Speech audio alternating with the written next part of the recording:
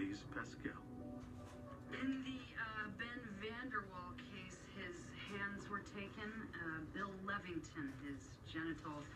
Only in the Rita Hazlitt case, she was starved and tortured, then executed, and there's no sign of post-mortem mutilation. Why would he take Heather Vanderwall and not simply kill her? Maybe he hasn't, and she's still alive. Well, the only thing concrete is the MO, which depicts an efficient, no-nonsense murderer. Well, then we need to figure out what each act of mutilation means to the unsub. Or to the victim. It's pretty much how we found it. There's no signs of forced entry. It says in the file that Heather Vanderwall has a daughter. Where is she? She moved to San Diego to live with her real father. Ben and Heather Vanderwall have only been married a couple of years. So Heather came in, she dropped her shopping bags, her cell phone, and her keys, but not her coat. She turns on the lights. But they didn't work because the phone and electricity were cut. Something in this room attracted her attention. What is it? Marks in the blood look like a camera tripod. Serial killers, especially sexual sadists, often document their kills. But sexual sadists usually torture their victims while they're still alive. They still didn't find any conflicting DNA. No, no prints, no fibers, nothing. Nobody heard any shots. No, excuse me. Yeah. All right. Heather Vanderwall was just found wandering the streets half hour ago. She's at Brookside General. Get JJ over there. Killer this sophisticated doesn't leave a living witness without a reason. Heather, my name is Agent Jareau. I have some questions for you. So you came home. You tried to turn the lights on, but they didn't work. What did you do next?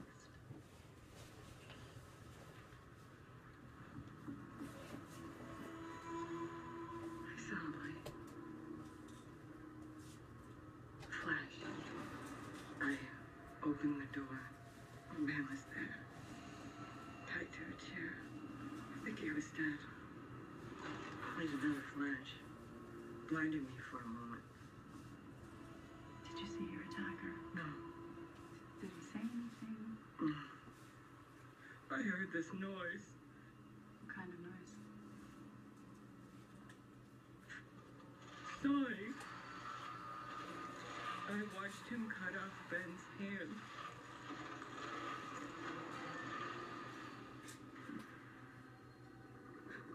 Why didn't he kill me?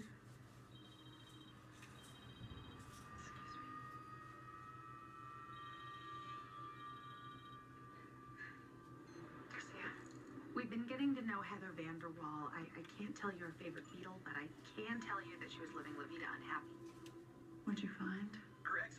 Her daughter Allison out of school midterm. After that, Heather cut a check for $5,000 to a place called Lewis, Bell, and Peters six days ago. Law firm? Family law. Thanks.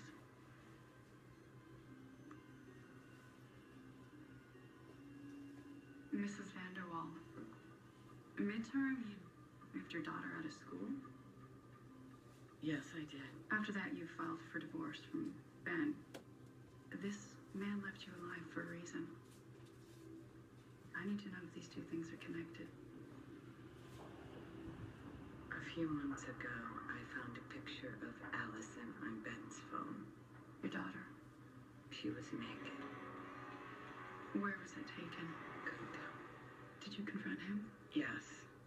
He claimed that Allison sent it to him by mistake. She meant to send it to another student at her school. It's called sexting. What did Allison say? She said Ben took it, but she she lies. Allison, she's a liar. She caused us a lot of trouble, you know. She wasn't lying about this, though, was she?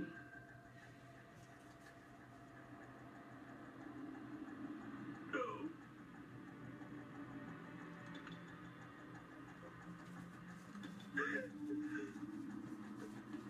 The hand removal is less than surgical. He used a basic double-tooth saw. So, the guy we're looking for has no medical training. Not the kind I've had. One in the heart, one in the brain, close range. The second one was right up behind the ear. How about gunshot residue? Surprisingly little. Maybe it's because the killer was using a 22.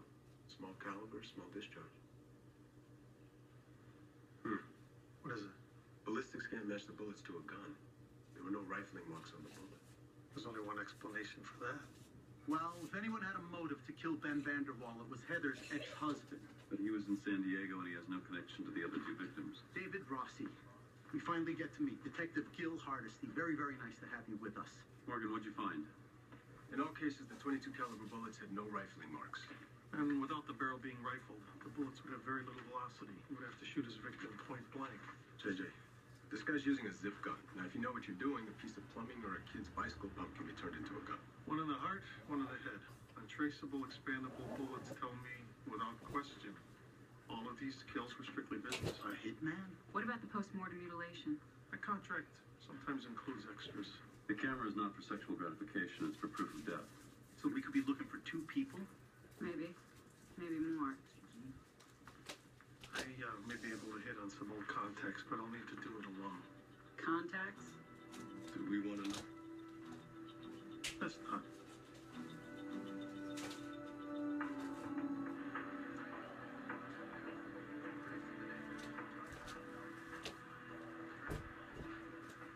We don't know until 5.30. I'm looking for the owner of that coat. Is that right?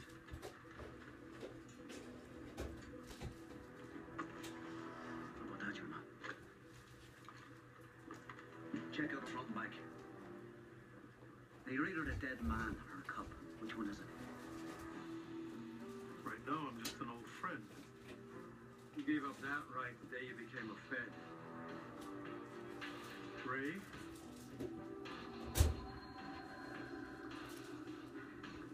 David.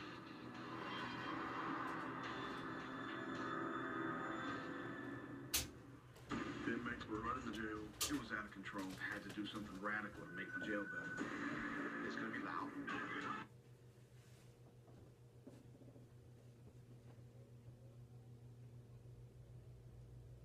As specific as Rita Haslett's condition was when she was found. Just as specific as the removal of Bill Levington's genitals. There's a message in the mutilations the unsub wants us to know. I got something here that might help us with that. Uh, technically, we have something here that might help with that. Bill Levington was involved in a serial rape case, all involving minors, and it never went to trial. Rita Haslat? A former social worker retained said former status when she was fired from the DCFS for gross negligence. In one of her cases, a seven-year-old boy starved to death. Which explains why Haslight was so emaciated when she was found. If all the victims were indicated in crimes against children, then we found a connection. One of the unsubs has access to the crimes of the victims and probably works in the justice system. Garcia? On it. All right, well, we know what the victims have in common. We just need to find out who they have in common. Wait, the social worker and the suspected rape case, those were matters of record. Ben Vanderwall's relationship with his stepdaughter is not. Unless the stepdaughter told someone else. I'll call Rosie. I'll have the daughter brought in. But all three crimes were against children. Okay, thanks, Prentiss. Cuban, no doubt. Some laws are just plain unjust. You know, if those three individuals messed with kids, they got what they deserved. It all depends on your definition of justice. It was the same as when we were kids. You do what you gotta do to survive. What about this guy?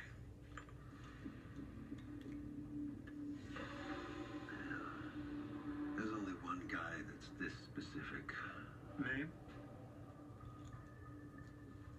Bosola. I spoke to Heather last night. I knew for a long time something was off, but this. Why didn't you tell me? Uh, Mr. Sandweiss, Allison is the victim here. I just want to know the truth from her. For once. I told you. I don't know what they're talking about. Allison, we have the pictures your stepfather took of you. Allison.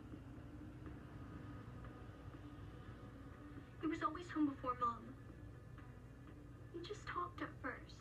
Why didn't you tell your mom? I know she'd tell dad. And he'd always said he'd kill anyone who laid a hand on me. And did he? How long has he been operating? 20 years? He's a ghost. I've heard that name, Asola. He's a character in a play. Jacobean tragedy, The Duchess of Malfi. Asola brutally slays the Duchess It Wouldn't be a tragedy if he didn't. Is he local? I don't care about the Rico beef. What about Sean?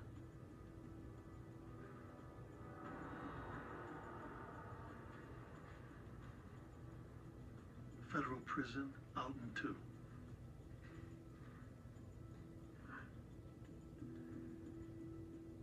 I'll bring you tonight. You better bring the Marine Corps.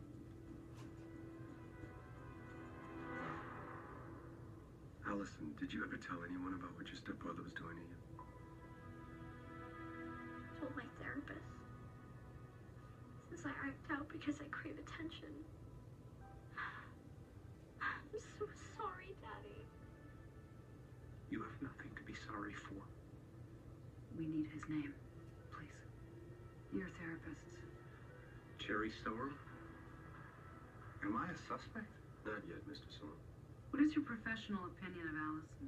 You mean was she sexually abused by her stepfather? No question. And you reported it? Of course. To the police? Absolutely. How far did they take it? They had it reviewed by the state. Did the police interview her? They came to my office. Allison wanted nothing to do with it. Case closed. Just like the 380,000 cases of child abuse reported in this country each year, less than 1% gets tried. Does that make you want to even the odds?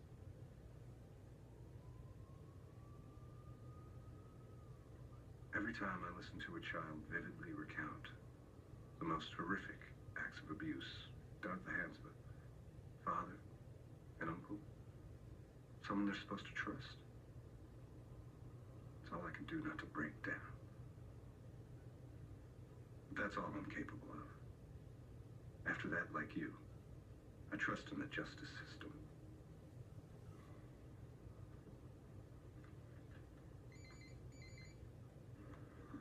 Rossi, Midnight, my restaurant. Most people never meet Bosola. Those that do only ever meet him once. If he smells the Fed, I'm gonna end up like the Duchess. Now that would be a tragedy.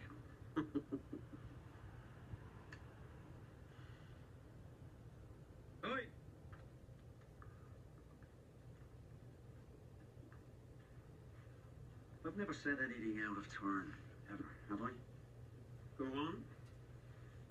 Always you treated me like a son. But I'd rather do time than see you become a rat and out the feds. We're closing the restaurant tonight.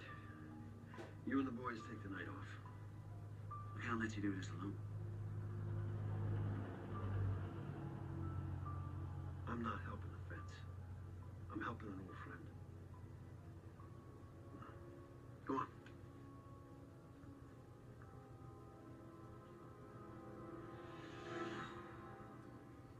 Dims the lights. We go in.